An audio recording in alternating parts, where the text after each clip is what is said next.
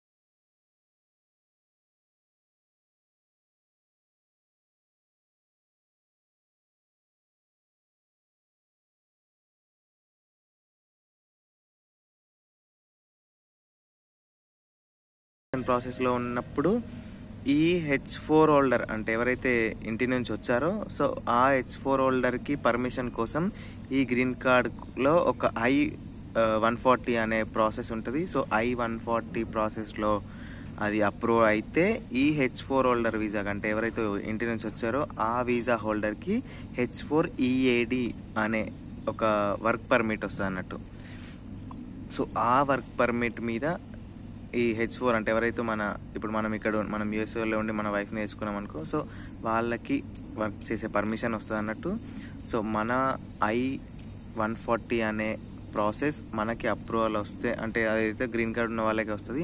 So green card application నుండి I one forty approval అయితే కూడా వస్తుంది.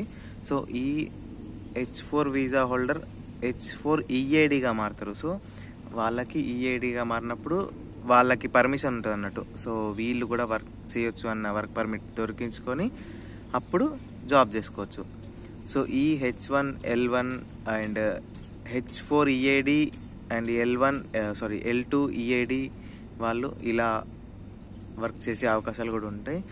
సో నెక్స్ట్ uh, ఇప్పుడు uh, సో ఈ హెచ్ ఫోర్ వీసా వాళ్ళందరూ డిపెండెంట్ వీసా అని అంటారు. సో ఫ్యామిలీ మెంబర్స్ని లేకుంటే సారీ ఫ్యామిలీ మెంబర్స్ అంటే లైక్ పిల్లలు భార్య భర్తలు సో వీళ్ళందరినీ ఒకళ్ళు ఉండి ఇంకొకళ్ళని తీసుకొచ్చుకోవడం అంటే వాళ్ళు డిపెండెంట్ వీసా కిందకి వస్తారు. సో వాళ్ళ కేటగిరీ వచ్చేసి హెచ్ ఫోర్ వాళ్ళకి వర్క్ పర్మిషన్ రావాలంటే హెచ్ ఫోర్ ఈఏడిగా మార్చుకొని పర్మిషన్ తీసుకొని వాళ్ళు కూడా వర్క్ చేయొచ్చు.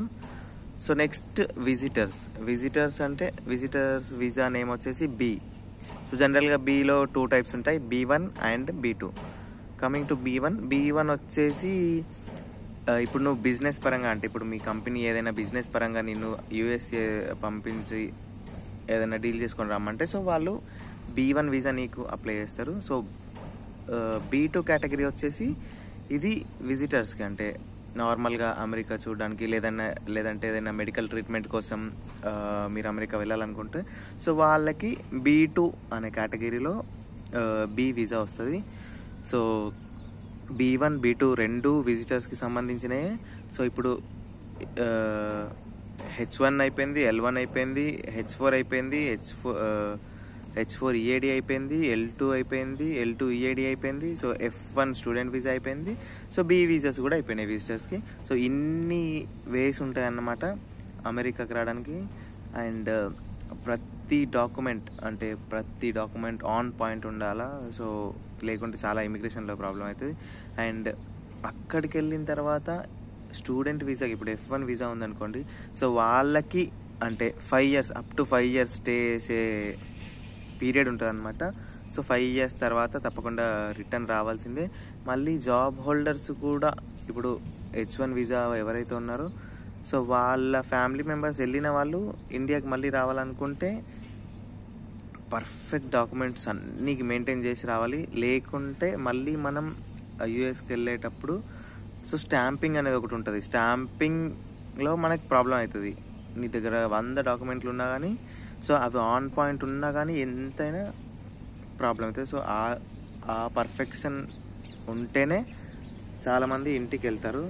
సో లేకుంటే మళ్ళీ యూఎస్ రావడం చాలా కష్టమవుతుంది. అండ్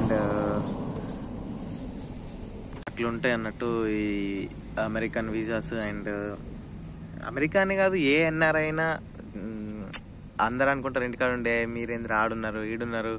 సో మీకు అలా ఉంటుంది ఇలా ఉంటుంది అనుకుంటారు కానీ మా ఎన్ఆర్ఐ కష్టాలు ఎవరికి అంటే ఎవరికి అర్థం కావు ఇంటి దగ్గర ఉన్న వాళ్ళకి. సో ఒక్కసారి ఎన్ఆర్ఐ అయితే అప్పుడు నీకు అర్థమవుతుంది. మేము ఫే మేము ఫేస్ చేసే సిచ్యువేషన్ సో చాలా అంటే చాలా ఏదో ఒక డిఫరెంట్ టైప్ ఆఫ్ వరల్డ్లో ఉంటారు ఎన్ఆర్ఐస్ అందరూ. సో ఎప్పుడన్నా మీకు టైం ఉంటే వాళ్ళకి అంటే మంచి అడిగి అడిగి చూడండి ఇంటి దగ్గర ఉన్న వాళ్ళకి అంటున్నా. సో వాళ్ళకి అడిగి చూడండి వాళ్ళు ఎలా ఉంటారు ఏంటి సంగతులు ఏం చేస్తారు పొద్దునుండి ఈ కొన్ని ఉంటాయి చూడండి ఒక రెండు మూడు అంటే ఫొటోస్ చూసి లేకుంటే అరే ఆడ అట్లున్నాడు ఈడు ఇట్లున్నాడు ఈడు ఈడున్నాడు ఈడు ఎంజాయ్ చేస్తుండు అనుకుంటారు చూడు. అది చాలా అంటే మీ పర్స్పెక్టివ్లో ఒక ఫోటోని లేకుంటే ఏదైనా వీడియోని చూసి మీరు వాడు హ్యాపీ ఉన్నాడు అనుకుంటారు. కానీ మిగతా టైంలో వాడు ఏం చేస్తాడో ఒకసారి పక్క కనుక్కొని చూడండి. సో అప్పుడు మీకు తెలుస్తుంది అంటే ఎన్న రైస్ కష్టాలు ఏందని. మీరు కనుక బయటకు రావాలనుకుంటే జాగ్రత్తగా ఆలోచించి అంటే ఇయర్స్ అన్ని సాక్రిఫైస్ చేయాలనుకున్న ఉద్దేశం ఉంటేనే బయటకు రండి. ఆ, మస్తు మంది అంటారు ఏ వెళ్ళి టూ ఇయర్స్ ఉండి వద్దాం లేకుంటే త్రీ ఇయర్స్ ఉండి వద్దాం అంటారు. కానీ ఒక్కసారి బయటకు వచ్చిందంటే వాళ్ళు వెళ్ళడం చాలా అంటే కష్టం అని కాదు కానీ ఇక వాళ్ళ సిచ్యువేషన్ డిమాండ్ చేస్తే అర్థం కాదు ఏం చేస్తే అర్థం కాదు కానీ ఒక్కసారి బయటకు వచ్చిన వాళ్ళు మళ్ళీ ఇంటి దగ్గర ఉండడం హార్డ్గా ట్రై చేస్తే తప్ప ఉండలేదు ఇంటి దగ్గర. సో ఇంటికి వెళ్ళాలని ఉంటుంది కానీ మొత్తం అక్కడే ఉండు అన్నది కుదరదనమాట సో ఈ ఈ వాతావరణానికి అలవాటు అయిపోయి సో ఈ ఎర్నింగ్ కానీ లేకుంటే ఈ ఇన్కమ్ కానీ సో ఇవన్నీ మనని ఉండేటట్టు చేస్తాయి అనమాట సో ఈ వీడియోలో అయితే ఎంతో కొంత మీరు అమెరికన్ వీసాస్ గురించి తెలుసుకుంటున్నారు అనుకుంటాను. సో నెక్స్ట్ టైం ఏదో ఒక టాపిక్తో మీ మళ్ళీ మీ ముందుకు వస్తాను అనుకుంటున్నాను. సరే ఇప్పటికైతే బాయ్ టాటా